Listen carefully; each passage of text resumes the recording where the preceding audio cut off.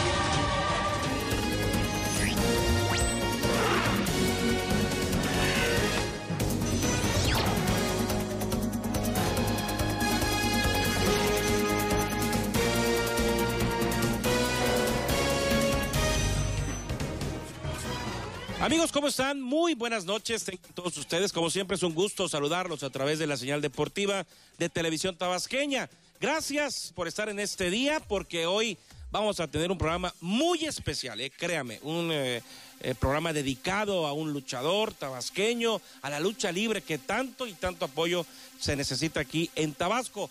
Antes, déjeme saludar, antes de presentar a nuestro invitado de honor, Otto López, ¿cómo estás? ¿Qué tal, Irán? Un placer acompañarte. Quédese con nosotros 25 minutos del arte del pancracio. Nada menos que tenemos al jefe de jefes de la lucha libre tabasqueña. Pero antes de hablar de toda esta gran historia dentro del ring, tengo el placer de saludar a César Baeza. ¿Qué tal, César?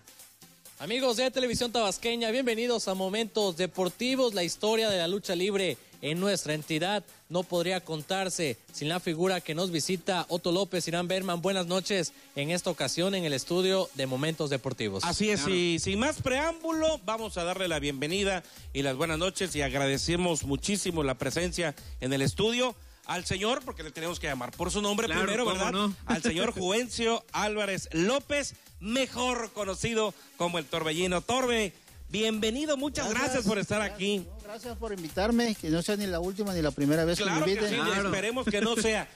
Estoy de acuerdo con Otto y César, digo, sin demeritar, obviamente, a, a luchadores de Tabasco, pero cinco sí los podemos contar, ¿no? Torbellino, Noruego, Canek, Claro. Cadáver, que en paz descanse, Cadáver 1. Creo que está él entre esos precisamente cinco.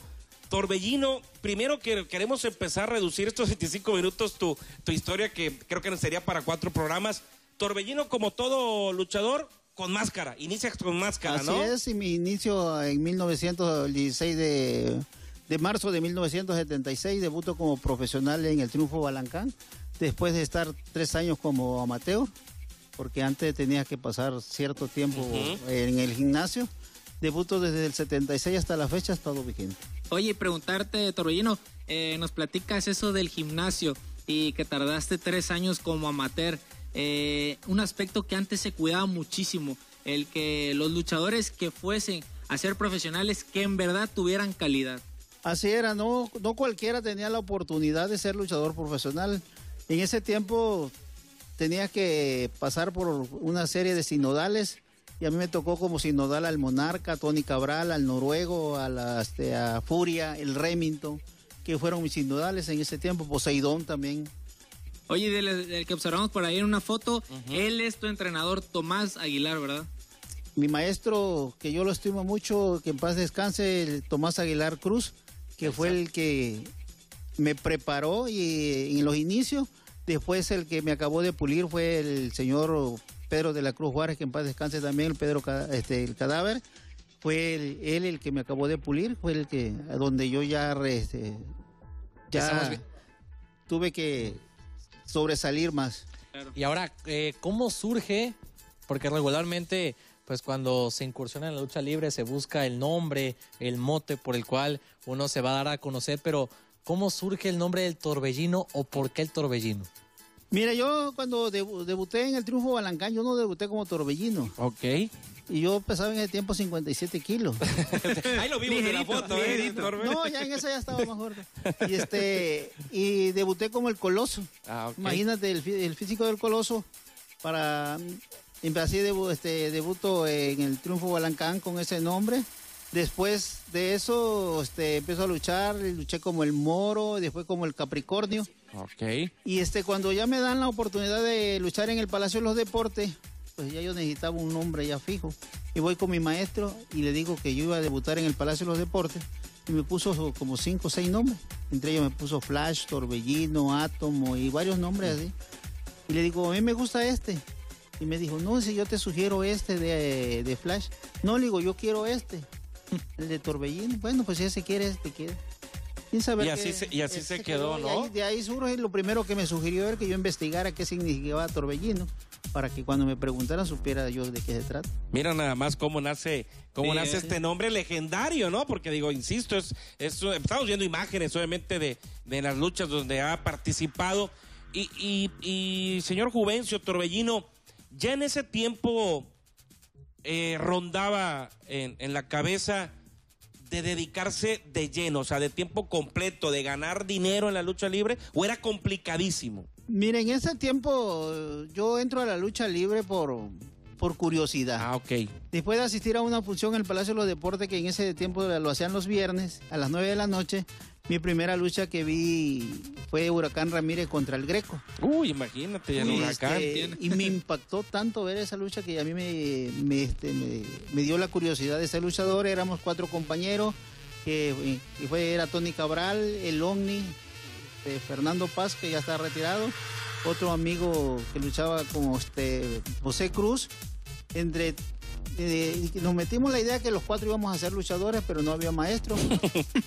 Y este, ah, teníamos un amigo que este, practicaba artes marciales y judo, este, Arturo Palmer Vidal, y él nos empezamos a entrenar con él judo. ¿Y a qué se dedicaba Torbellino antes de esa idea en la cabeza? Pues andaba este, trabajando nada más. Ok. No, Trabajábamos como cualquier chamaco. Yo tenía como 15 años, 13, 14 años en ese tiempo. Ah, muy joven, te. Sí, yo, yo empiezo a entrenar a los 15 años. Joven. Y este... O sea, no había un trabajo formal, No, eh, nada, no, ayudando a la familia en lo que se podía, llevando dinero a la pues casa. pues ahí- en ese tiempo había que trabajar porque ahí no nada- nadie andaba de vago todo. No, mira nada más, Sí. ¿eh? Y este entonces este mi amigo nuestro amigo Palmer se encuentra un luchador en el ejército que luchaba como Rudy Acosta, él agarra y le, este, le dice que tiene unos amigos que quieren aprender lucha libre, le dice que, que nos vaya a enseñar, pero nada más llegaba un día a la semana, los lunes, y de ahí se retiraba y nos dejaba con las clases. Y de ahí hasta el próximo lunes y nos ponía, usted tiene que rodar así como el rey, rodar y rodar y rodar. Eso es lo que hacíamos toda la semana. Y a la próxima semana llegaba y otra vez ponía otra clase y así, pero nosotros no avanzábamos. Entonces, en ese tiempo, el maestro Palmer era uno de los más destacados en artes marciales y se encuentra el Rayo Vengador y le dijo que él quería aprender artes marciales. Y le dice, pues yo, yo le enseño artes marciales, pero yo tengo unos amigos que quieren aprender lucha libre. Si usted le enseña lucha libre a ellos, yo le enseño artes marciales. Y así se dio. Y así se dio. Qué nombre padrísimo. No, pero la, yo lo que siempre he dicho, este, este amigo Palmer, que siempre interpuso él sus clases por tal de que nosotros aprendiéramos Exacto, o lucha sea, él, libre. él- él dijo, o sea, yo te enseño que Sí, a- a la- a los dos las artes marciales, pero a los chavos enséñales Sí, la lucha libre, ¿no? Porque éramos amigos de, la- de ahí de la colonia, ahí éramos amigos porque sus hermanos también ahí estaban. Oye, Torbellino, ¿y tu familia qué te decía que estabas involucrado en la lucha libre? Que ¿No te estaba loco. Sí, que estaba loco de que, que andaba buscando, pues en ese tiempo con el físico yo estaba bien delgado, pesaba como 49 kilos. Uy, imagínate. Y me decía que me iban a matar y que esto y que el otro. Y me sugirieron que tomara levadura de cerveza y me compré un pomo de mil pastillas. y diario me tomaba yo como 60 pastillas, 20 en la mañana, 20 al mediodía. ¡Qué bárbaro! 20, y yo no subía de peso y así hasta que empecé a subir, a subir.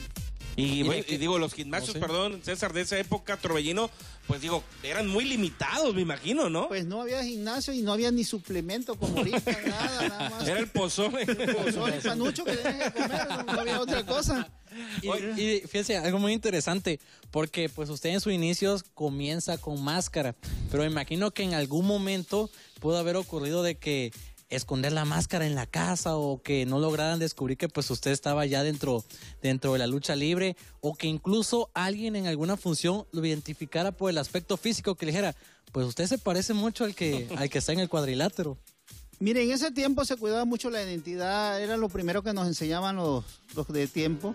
Que ya ahorita cualquiera quiere, llegas a su casa y tiene la máscara en la puerta de la entrada, ya sube las fotos al Facebook, que ya sepan que es luchador. En ese tiempo era muy, este, Era muy celoso muy eso, celoso ¿no? que fue, supieran que era luchador y cuando, cuando yo llegaba a empezar a luchar en el Palacio de los Deportes, la función empezaba a las 6 de la tarde, yo llegaba desde las 3 de la tarde Ah, ok. y ponía mi maleta allá adentro y me iba al Ricardito a ver el partido de, de béisbol.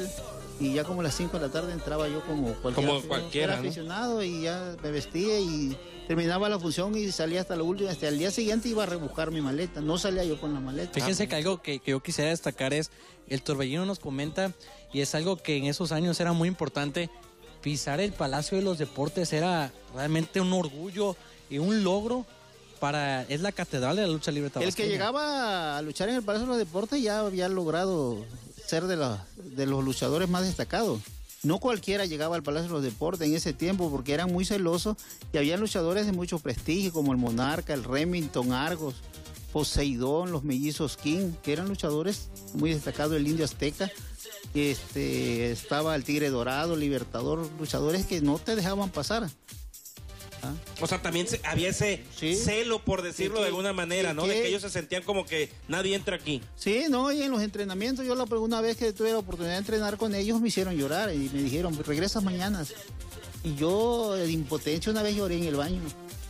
De- del trato que te daban. Del trato de cómo me golpearon, porque antes no era. Yo ahorita a los chamacos los golpeas y te van a derechos humanos a demandar.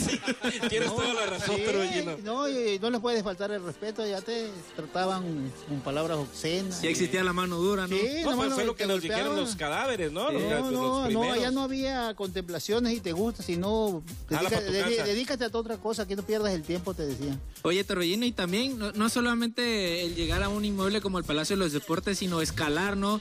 En cada una de las funciones. ¿A qué me refiero? Quizás la primera lucha, después la segunda, luego la coestelar, y luego llegar a un estelar. Era otro trabajo de luchador. Mire, yo estuve luchando en primera lucha dos años. Y con el mismo, con dos rivales nada más, con el Lacandón, con el Rayito. Eran mis rivales y de ahí no me sacaban. Después de, de eso, este, como me dedico a ya este, a entrenar más y fui superándome, este, subo a segunda y terceras luchas. Ah, ok. De esa segunda y tercera lucha viene una oportunidad donde me viene este, la empresa mexicana de lucha libre que ahorita es Consejo Mundial. Ah, Tenía mira. un convenio con la empresa de aquí, que el señor Andrés Figueroa, y que cada año le mandaban un campeón para que pusiera el campeonato aquí en Tabasco. Me mandaron al campeón ligero del estado de, el campeón nacional, que era Rodolfo Ruiz, el papá de Averno, y el y este y el retador oficial era este Blue Angel. Entonces, por ahí una persona que el señor, que yo le agradezco mucho a Pedro de la Cruz, dijo, no, el retador va a ser el torbellino. Y el señor Figueroa dice, tú respondes por él, yo respondo por él, y él me dijo, tú respondes por mí. me dijo. Y me empiezan a platicar que el señor era una chucha cuerera en, lucha libre, que tuve, me preparé como dos meses. Y cuando lucho con el señor, todavía me, como que me vio así de pies a cabeza cuando llegó. Dice, ¿quién es el retador? Le dicen, pues esta que está aquí. Ujú. Ah, bueno, nada más me. Y Subo a luchar y cuando bajé de luchar me dice, es usted un excelente luchador. Al fin de año, eso fue una lucha como en julio, al fin de año en una revista de a nivel nacional, el señor publica que su mejor lucha de campeonato de, de- de lucha de campeonato nacional lo dio con un luchador de provincia de nombre Torbellino. Mira nada Qué más, qué interesante. ¿eh? Vamos a ir a la pausa porque así como la primera caída, así de rápido, se fue la primera parte del programa. Regresamos.